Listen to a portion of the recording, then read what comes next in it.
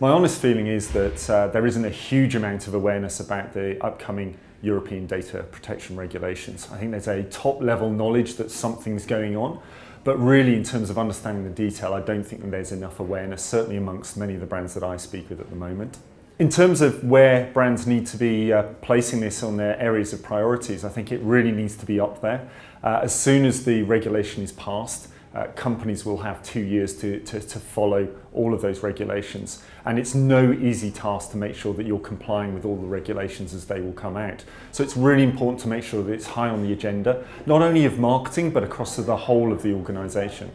The first step that uh, everybody involved in the ecosystem, whether that's a brand or an agency or a publisher, needs to do is to really understand the data that they currently have where that data was collected from, how it's been kept, who has access to it. So almost doing this full audit of the information that they've got today. That's the starting point that I'd recommend that companies do.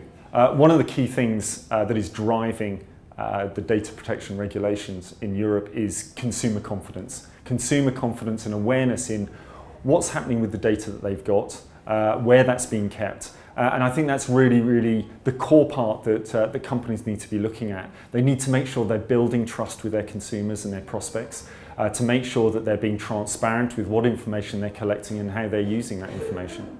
A key thing for me is that this is a start of a journey. Uh, companies will have two years to uh, comply with the regulations. Uh, so it's really important that companies are looking at that today, not leaving it to the last minute. I think there's a huge amount of information out there uh, and uh, spending time and understanding uh, what you need to do and what you need to comply to is, is critical. We're going to look at it from two angles. We're going to take it from the publisher perspective, but also from the brand perspective to see how marketers can harness the power of this, the fastest growing of the marketing disciplines.